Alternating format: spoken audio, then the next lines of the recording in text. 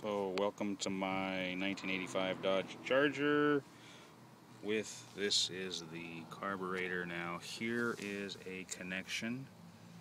So we'll call that number one. We'll call this one number two which I think is the fuel because it comes back to the fuel filter. So that's one and two. Then we have number three and number four.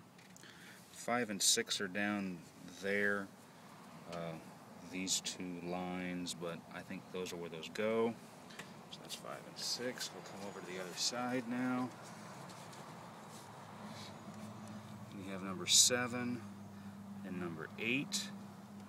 Uh, number nine is all the way in the back, but that comes off of this, which I guess is the master brake cylinder. Don't ask me about that. Uh, now, so we have two that come off of the air filter. This one and this one, which the hose is in there somewhere. I can't find it right now.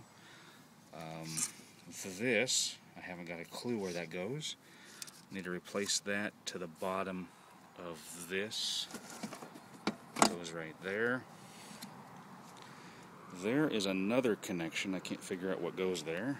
And then going back to the other side, come back over and we have this little thing here which has one, two, three connections.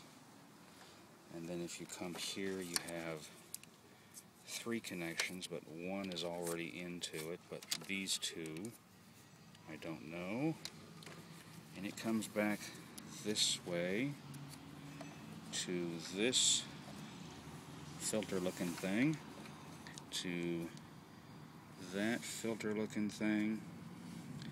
And then this is the hose that was off when I got the thing. Looked like it was leaking fuel which might actually be correct since I believe this is the fuel line right there. So the question is where do all those things go? Anyway alright and do you think I got that one correct? The see which way does this go. That way.